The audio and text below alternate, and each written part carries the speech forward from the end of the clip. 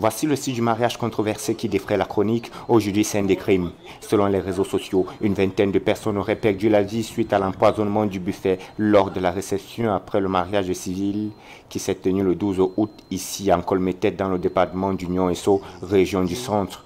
Le frère aîné de la mariée fait partie des invités au repas. Tout le monde a mangé, tout le monde a bu, il n'y avait pas de problème. Les problèmes commencent le 15 août vers, je crois, 20 heures, que mon petit-neveu arrive en courant. Il me dit, tonton Pierre, je t'avais dit que les sang d'abeilles qui est là est un mauvais signe.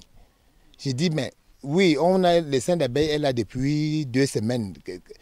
Qu'est-ce qui, qu'est-ce qui se passe? Il me dit que la femme de tonton André, et on dit que la femme de tonton André est décédée. C'est mon cousin. Un premier décès signalé, puis un second, et plusieurs personnes légèrement hospitalisées les autorités ont très vite ouvert une enquête. Vers minuit, minuit, une heure, j'entends un véhicule qui s'arrête devant euh, euh, la concession et le véhicule klaxonne euh, bruyamment, voilà.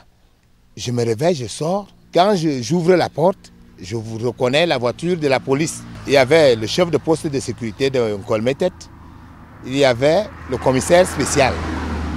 Il me pose la question, c'est ici qu'il y a eu mariage Je dis oui. Bref, ils m'ont posé un certain nombre de questions.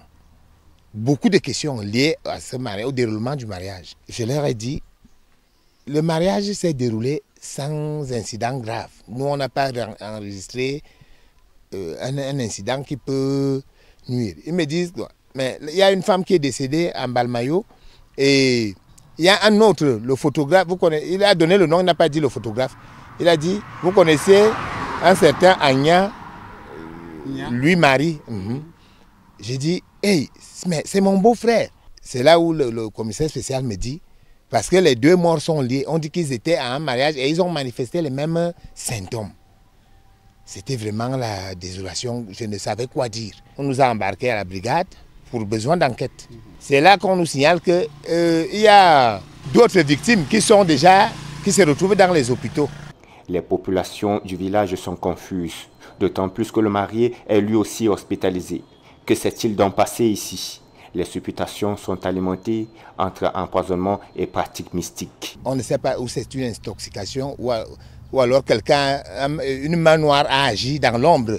Il y a beaucoup de, spéculations dans l'ombre que euh, soit euh, mes, proches ont essayé de m'atteindre et ils n'ont pas pu. Peut-être quelqu'un a donc profité de, nuire pour que, je, ne sais pas, pour que cela m'emporte. Voilà en gros ce que je peux vous dire. actuellement, j'ai mon beau-frère et cousin qui se trouve interpellé là-bas pour une histoire de tête de serpent. il y a l'autre qui est même, bon, je ne peux pas dire, qui a eu des visions qu'il n'a pas pu avertir à temps. Il vient avouer la vision quand il y a déjà eu morts d'hommes. Jusqu'à présent, les enquêtes se poursuivent. On fait des rapprochements pour voir qu'est-ce qui a causé ce drame-là.